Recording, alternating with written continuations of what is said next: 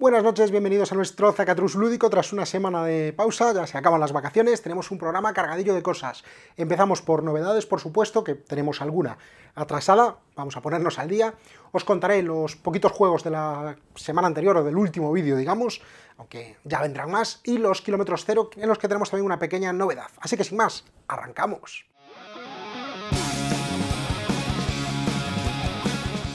Y vamos a empezar por, porque esta semana tenemos un poco de todo, tenemos eh, expansiones, tenemos reediciones y tenemos rol. Así que voy a empezar por el, por el rol, que siempre es algo que me gusta mucho. Para empezar tenemos el último volumen de la senda de aventuras, La Calavera de la Serpiente, de Pathfinder, el juego de rol, se llama El Santuario del Dios Serpiente, y es el volumen número 6 que pone punto final a esta campaña, a esta senda de aventuras. En breve esperamos el mes que viene que aparezca una nueva.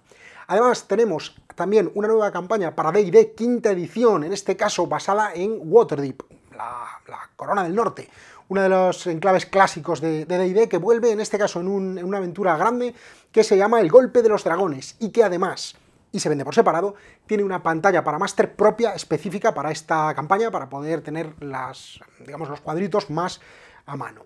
Y tenemos algo de rol también que es nuevo, nos lo trae de Beer y es Warhammer Fantasy Roleplay, un nuevo juego de rol ambientado en el mundo de Warhammer, no es el primer intento que hay de esto, a ver este qué tal resulta, es un libro en buena edición, bastante grueso y ya os contaremos exactamente cómo va. Además del rol, tenemos algunas reediciones, hay un par de, juegos que ya tenían tiempo y que eh, son que han vuelto a, aparecer. Para empezar, Love Letter, un clásico que traía de Beer y que ahora nos trae eh, Z-Man, nos trae Asmodee, es un juego mítico ya, y en su nueva edición, que viene en un blister en vez de en una caja, pues tenemos los componentes que ya teníamos, aunque la calidad parece un poco mejorada. Tiene 27 cartas en formato Ocean, si queréis, eh, si queréis eh, enfundar las cartas, aunque vienen bastante bien protegidas en la, en la bolsita que trae. Y además de esta, de esta reedición tenemos otra reedición que es un poco más típica, digamos, que es Jungle, más que típica, un poco más diría conocida, Jungle Speed, que viene en una edición, el famoso juego del Totem, que viene firmada por los estudios Bertone. Es una edición limitada de este juego que trae cartas también, 70 cartas en, formato cuadrado de 80 por 80 y que tiene el tótem de, color eh, que este, bueno, muy llamativo de, esta, de este estilo. Y aunque tenemos un par de reediciones más que luego veremos con más detalle, tenemos algunas expansiones. Para empezar, el pack de miniaturas de Viajes por la Tierra Media, El Señor de los Anillos, pack de villanos de Eriador. Tres miniaturas y nueve cartas mini-USA para ampliar un poco nuestro juego. Estas miniaturas se usan en la campaña inicial de Arnor y también en una campaña que de momento no tenemos, pero esperamos que en breve aparezca.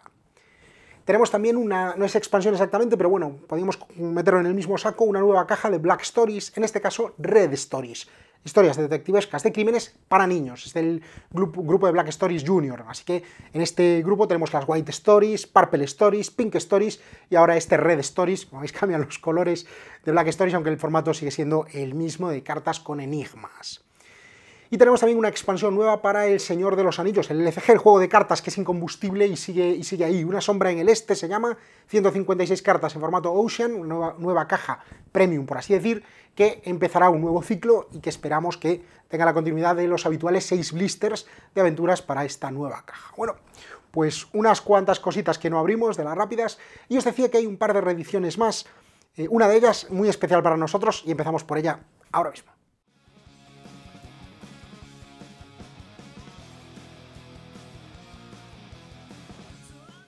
Pues aquí está de vuelta Arre Unicornio. Estamos orgullosos de enseñaros esta nueva edición de Arre Unicornio, que está hecha en colaboración de los amigos de Cerebral Games, quien habían sacado la primera edición del juego, y Zacatrus en una caja que es un poquito más pequeña que la que teníamos antes, y 100 cartas es el contenido, ahí podéis verlas con la, un poco con la imagen clásica del juego, en formato Asia, ¿vale? Son un pelín más, más pequeñas. Así que ya tenéis de vuelta este juego de roles ocultos en un manicomio que nos permite escalar desde 2 hasta 8 jugadores. Con dos jugadores el juego será diferente, más táctico y que mm, podremos intentar escapar del manicomio si somos los, los, pacientes o evitar que escapen si somos los médicos. Y si os toca ser el, el bedel, pues cambiad de rol porque así no ganaréis la partida. Pues ya está aquí la nueva edición de Arre Unicornio disponible desde ya mismo. Vamos a otro.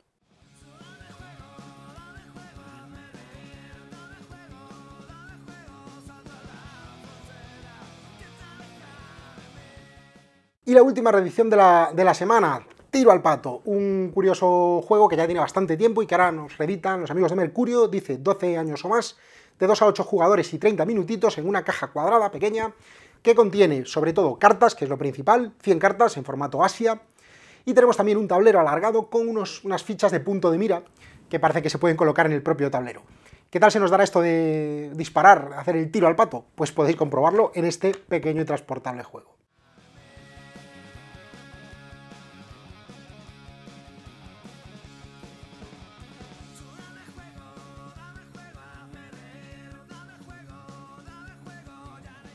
Y aquí tenemos otro mm, Roland Wright, por así decir, que nos trae de Beer, parecido en, el aspecto visual, se parece mucho a Plenus, que por cierto está agotado, esperamos que en breve vuelva a estar disponible, pero este se llama Optimus, este juego ha tenido bastantes galardones, es, eh, digamos, del estilo clásico de, Roland Wright, pero que nos hará estrujar el coco, y dice aquí 8 años o más, de 1 a 4 jugadores, permite un modo solitario como la mayor parte de estos, y 30 minutitos.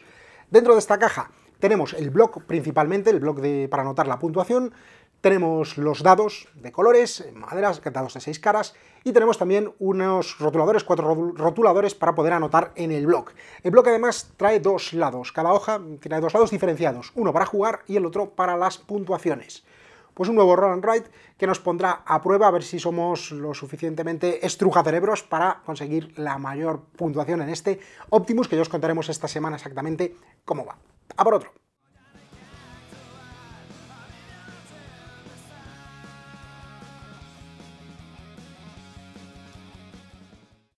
Blank, que es un juego un tanto curioso, que viene, fijaos en la caja, viene como con un cajoncito, ¿vale? Es una, cosa curiosa, dice aquí 6 años o más, podéis jugar con peques, de 2 a 6 jugadores y 10 minutos. Y nos dice en la parte de atrás el divertido y rápido juego de interacción que tú personalizas tras cada victoria. ¿Y esto de personalizar cómo será? No lo tenemos claro, os lo contaremos esta semana, pero fijaos que este juego trae cartas, simplemente cartas, 110 cartas en formato Ocean y muchas tienen como mucho hueco en blanco.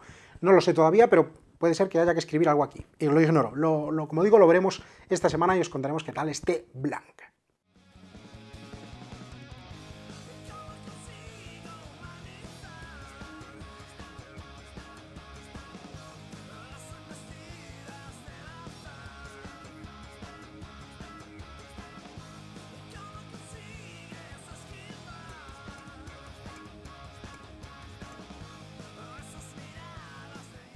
Estamos acostumbrados a los Story Cubes de Rory's Story Cubes, que son cajitas pequeñas, y aquí tenemos un juego enorme que dice que utiliza Rory's Story Cubes, se llama Untold, la aventura te espera, 60 minutos por partida, de 1 a 4 jugadores, tiene modo solitario y 10 años o más. Bueno, pues en esta caja, que es bastante grande y pesa lo suyo, encontramos un juego de dados, es lo principal, de Rory's Story Cubes, bien incluido porque, como dice la propia caja, necesita o utiliza este juego. Pero además tenemos un tablero, un tablero grande de, dos alas y unos tablerillos para los jugadores, imagino, porque hay cuatro, pues será uno para cada jugador.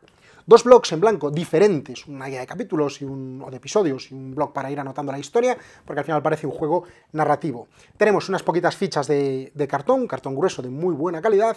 Tenemos unas poquitas cartas, tampoco, tampoco son, son muchas, o nada más que 27 cartas de formato euro, utilizaréis en el 29, perdón, dicho 27, 29, en formato euro. Y por último, lo principal son una especie de cartas tarot, pero no son cartas, ¿eh? son cartones gruesos que vienen en cinco bloques según los episodios, los cinco episodios, digamos, de la aventura que tenemos que desarrollar en este Untold. No tengo muy claro cómo funcionará. Esta semana os contamos cómo va este Untold basado en el Royce Story Cube.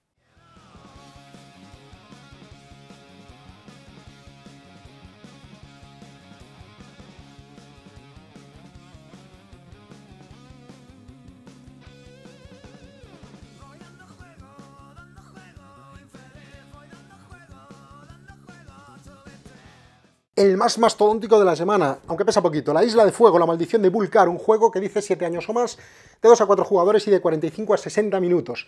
Si ya os suena este juego es porque es un juego antiguo que ahora viene en una reedición, en una caja grande y que es espectacularmente visual. Lo primero que nos llama la atención dentro de esta caja es la propia isla que viene en tres módulos y además viene la isla, viene una cabeza como una figura de Vulcar y tenemos como decoración, como escenografía, que además es útil para el propio juego, unas palmeritas, un par de puentes, una escalera, etc. Tenemos bolitas, canicas, eh, naranjas y, rojas, que son las que se utilizarán durante la partida para tirar a los personajes y tenemos también cuatro eh, personajes miniaturas, mm, bueno, son bastante, una calidad bastante que deja bastante que desear, pero no importa porque precisamente es para darle bolazos. Además tenemos un par de tablerillos que sirven para mm, hacer un poco visual, simplemente que no se vea el hueco debajo de la isla, y un tablerillo de eh, donde colocaremos tres canicas que nos sirve de indicación de cómo va avanzando la partida. Y tenemos también componentes de cartón, unas fichitas de cartón que se pondrán en, la propia isla para recoger los tesoros y un par de troqueles de cartón que forman un helicóptero por un lado y una especie de calavera de cráneo donde dejaremos fichas por el otro. Por último, un dado, un dado de seis caras normal y corriente, con, bueno, números, y que nos permitirá mm, colarnos por cuevas. Un juego extremadamente visual y muy sencillito que si quizá lo recordéis de vuestra infancia, este, La Isla de Fuego, la maldición de Vulcar.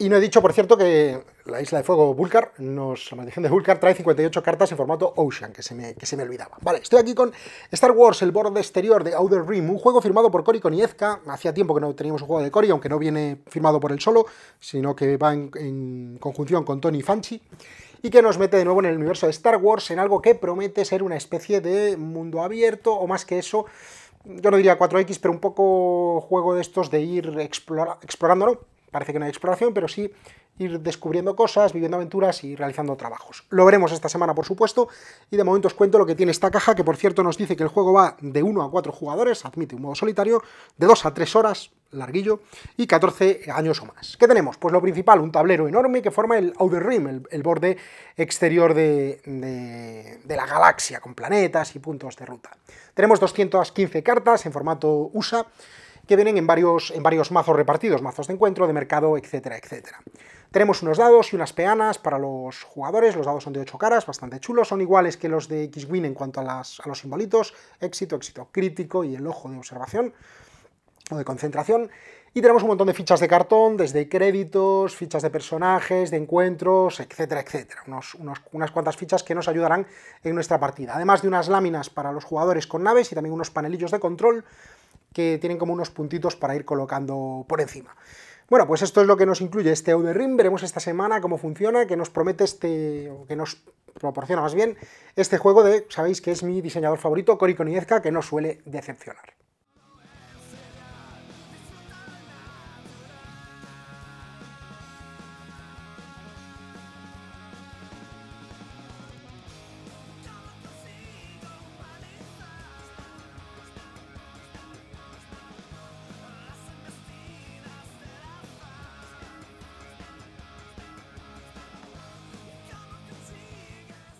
Aquí está Spirit Island, un juego que llegó y se agotó sin más, está, está totalmente agotado, hay que esperar a que lo reedite la editorial para poder mm, disponer de él nos han llegado los que nos han llegado, pero es un juego que la gente esperaba bastante. Un juego colaborativo, nos dice por aquí detrás, estoy buscando los simbolitos. Aquí, de 1 a 4 jugadores, podéis jugar en solitario, como la mayor parte de colaborativos, de 90 a 120 minutos, 14 años o más, y un juego que además tiene escenarios y distintos niveles de dificultad. Dentro de esta caja y en una cuna estupenda encontramos primero la isla, cuatro losetas de isla, que es un poco lo, lo principal de esto. Además de la isla tenemos cartas. Vale, hay dos cartas de dos tamaños. Tenemos unas cartas mini euro, 15 nada más, y cartas ocean, 134 en varios mazos. Tenemos plástico y madera, muñequitos de soldaditos, tenemos casas que son pueblos, tenemos como catedrales que son ciudades, tenemos las en madera ya las casetas de los, de los nativos y también en plástico unas fichas de, de plaga. Además de todo esto tenemos madera, discos de madera para los jugadores y tenemos paneles de control para los jugadores y también unas cartas, una especie de cartas alargadas o tarjetas grandes que son los escenarios de, este juego. Un juego, como digo, colaborativo que, en el que tendremos que ir mm, todos contra los malos, que por cierto tendrán, que me olvidaba, un tablerillo para poder controlar esa parte de, los malos, que es automática, es una inteligencia artificial del juego, y es una especie de conquista de territorio inverso, casi podríamos decir una suerte de defensa de la torre. Para terminar el contenido, tenemos unas cuantas fichas de cartón que utilizaremos en el juego. Vale, pues nada, este Spirit Island, como digo, está, está agotado, pero bueno, lo podéis echar un vistazo, esta semana os contaremos de qué va, para ver si os encaja, esperando a la reedición de este juego.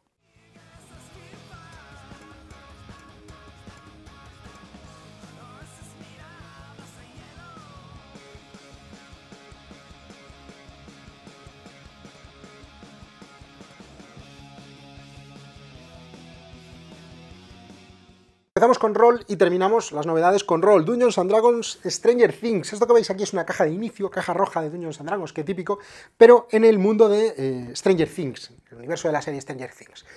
¿Qué tiene esta caja? Bueno, básicamente tenemos el libro de reglas resumidos, un libretillo, y una, una campaña, una aventura, más, más que campaña diría yo que es una aventura introductoria, para los jugadores en, en, un librillo también fino. Además tenemos hojas de personajes pregenerados, cinco personajes pregenerados, y tenemos un set de dados en color azul, conjunto de dados de rol normal, y también un par de miniaturas de estos bichos que veis aquí, son dos, aquí aparece una que viene pintada y hay otra que viene sin pintar, bueno, solamente es la boca que viene en rojo. Vale, bueno, pues aquí no, no tenemos ningún tipo de, de, indicación, porque bueno, ya sabéis que al final es un juego de rol, solo nos dice más de tres jugadores y a partir de, de 14 años. Promocionalmente, en algunos de los primeros ejemplares, se incluye también una, una pantalla de director de juego para esta versión Stranger Things de Dungeons and Dragons. Pues era nuestra última novedad de la semana, os cuento rápido, porque son poquitos los juegos que he probado la semana anterior, que hemos estado jugando, y la prescindible opinión. Aquí estoy con cuatro, los cuatro juegos que hemos probado esta semana, os doy mi opinión totalmente personal, lo digo por alguno más que otro, luego lo vemos, de todos ellos. Vale, empiezo por los pequeños. Nishikigoi, este pequeño juego de hacer estanques que realmente tiene mucha parte de tienta a la suerte porque, aunque podemos gestionar las cartas que tenemos en la mano entre todos, juego colaborativo, lo cual me gusta, dependemos de las tiradas de los dados. Si las tiradas de los dados son muy bajas, es mejor rápidamente desecharlo en cuanto veáis que no se puede cumplir, desecharlo que intentar hacer alguna cosa rara. Y lo digo porque eh, a raíz del vídeo de Conociendo ha habido un pequeño debate sobre mm, cómo va esto. Tal como nosotros lo entendíamos, porque el manual no lo deja muy claro, cuando creemos que no podemos conseguir un, un estanque a la perfección, es decir, no podemos ajustarnos a los resultados de los dados, podemos descartarlo y empezar uno nuevo, y entendíamos que por lo menos puntuábamos una división de estanque hecha. Vale. Eh, no podemos recuperar las cinco cartas, lo cual nos daría opción a tener más, pero estaba como hecho. Pero nos habéis dicho que entendéis que no, algunos de vosotros entendéis que no, que, que, si no se hace no puntuaría, solamente puntuaríamos por los que están perfectamente hechos, que cumplen los dados y que nos dan esas cinco cartas de bonificación. Así que hemos ido a la fuente, a Pac Gallego, el autor del juego, y nos ha confirmado que tenéis razón, nosotros no, y cuando se descartan cartas, cuando los jugadores deciden, bien porque quieran, que es más raro, o bien porque ya no puedan cumplir los resultados de los dados, se deja esa división, se retiran las cartas, se descartan, pero no contamos como estanque completo. Por tanto, solo contamos como completos aquellos que nos dan las cartas de bonificación y que habemos, digamos, habremos completado según los dados. Esto hace que el juego sea bastante más difícil. Pero bueno, al final es la gracia de un juego colaborativo, intentar hacerlo lo mejor posible. Me parece un juego sencillito, fácil de sacar, pequeñito, portable. Realmente es, eh, vamos, interesante para, para jugar un juego colaborativo que le podéis sacar a todo el mundo de manera muy sencilla. Es uno de estos juegos honestos que tampoco da más de lo que promete, pero no funciona mal. En este lado, Claim. Un poco agridulce lo de Claim, os cuento. Claim es un juego de bazas muy sencillo. Tiene cinco facciones, pero si fuesen cuatro podría ser la baraja española perfectamente, o la de póker. Pues tiene cinco facciones y realmente las normas son muy sencillas. Tiene genialidades, me ha gustado mucho lo de jugar en dos rondas grandes, la primera consiguiendo unas cartas y la segunda jugando por esas cartas, de manera que te da un pie a, bueno, la primera ronda puedo ver qué cartas me interesa para luego ir a la segunda. Y las eh, habilidades de las facciones, que en el vídeo de Conociendo nos las contaba, pero cada facción tiene su habilidad, que son particulares, se aprenden muy fácilmente, son sencillitas de entender y da, le da chicha a este juego, ¿vale? El juego es para dos jugadores, de manera que para un juego de bazas a dos es perfecto, no es de estos que tiene que escalar mejor o peor, sino que va perfecto. También es su parte mala, que solo vale para dos. Pero personalmente, y esto es una opinión absolutamente personal, me esperaba algo más de un juego de Scott Ames, autor de Los Pequeños Grandes me he quedado como un poco diciendo, bueno, ya está, es un juego de bazas muy sencillito. Es otro de estos juegos honestos que os decía, como Nishikigoi, nos da lo que promete, ya está. Pero, cuestión de expectativas, yo me esperaba algo más de Scott Ains. Pero bueno, no está mal, probadlo a ver qué os parece. Y los dos grandes. Notre Dame, la versión de Maldito, es décimo aniversario. Esta versión, en el vídeo de novedades de la semana pasada, bueno, de hecho hace dos, Dije que iba a decir algo sobre otro juego, en el conocido también, y no lo dije en ninguno, pero bueno, ya lo sabéis. Este juego incluye una expansión para otro juego de Stefan Feld, Los Castillos de Borgoña. Viene aquí incluida, creo que es la expansión número 8. Así que si tenéis los castillos, aquí tenéis una expansión más. Y si no lo tenéis, quizá os llama un poco la atención esto de a ver qué tal ese juego. Parece que de vez en cuando los juegos hacen crossovers y meten expansiones de uno en otro, tanto este como este, y alguno más que hemos visto, como por ejemplo dados y colonos con, Teotihuacán, etc. Nos puede parecer mejor o peor esto, ¿vale? Pero bueno, es así. Esta edición de Notre Dame, que es muy similar a las anteriores, aunque incluye, además de esto de Borgoña, una expansión para el propio juego, que realmente son más cartas, el juego en sí funciona bien, funciona muy bien, es un euro sencillito de gestión de acciones y trabajadores. Las acciones pueden apabullar porque son unas cuantas, son 7 u 8 al principio, pero son muy muy intuitivas y se pillan muy rápido. Nada, en, la primera ronda de la partida ya las habréis pillado todas. Y realmente es fácil de sacar a mesa. Es el típico fail con puntuaciones intermedias y al final no puedo decir mucho sobre él. Si os gustan estos euros así sencillitos, os va a ir bien Notre Dame. Ya es cuestión de temática que os guste más o menos. Decir que esta edición estéticamente es más bonita que las anteriores. Ahí, punto positivo para este Notre Dame que nos trae Maldito Games. Y por último, EXO, otro que hacía crossover con Skull Tales, ¿vale? Se me hace difícil hablar de EXO, ¿vale? Y os cuento por qué. EXO me parece eh, un juego hecho con mucho cariño y con mucho detalle. Su calidad es bastante buena, las minis son muy buenas. Sus normas son sencillas de entender y, podéis sacárselo a, no digo a todo el mundo, pero a casi todo.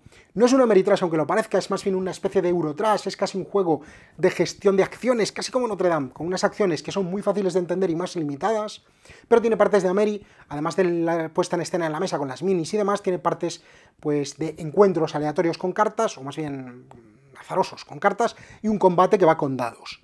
Y todo lo que hace EXO lo hace muy bien, funciona muy bien. Podría deciros que estamos ante un juego recomendadísimo. Pero, bueno, y un detalle más que me ha encantado. Para, para, poder equilibrar bien, escalar bien, trae dos campañas, una para uno y dos jugadores, que van con dos héroes, y otra para tres y cuatro jugadores, que van con, con cuatro héroes. Así que perfecto, todos sus aspectos este EXO. Pero, para mí tiene un punto negro muy, muy grande, y es algo absolutamente personal que va con mi talk, ¿vale? Y es que me parece extremadamente difícil. Me parece que se han pasado mucho de dificultad. Es cierto que es un juego de supervivencia, pero ya lo he dicho más de una vez, ya sabéis que yo soy muy llorica con esto, un juego que tiene un toque narrativo, no es su fuerte, pero tiene un cierto toque narrativo y de aventura, y además una campaña que va hilada, de manera que según qué decisiones tomemos o cómo acabemos una partida nos condiciona a las siguientes, tiene que haber un modo fácil, ¿vale? Ya lo sé, yo soy eso, muy llorica, los videojuegos los juego en modo fácil y, y no soporto repetir cosas.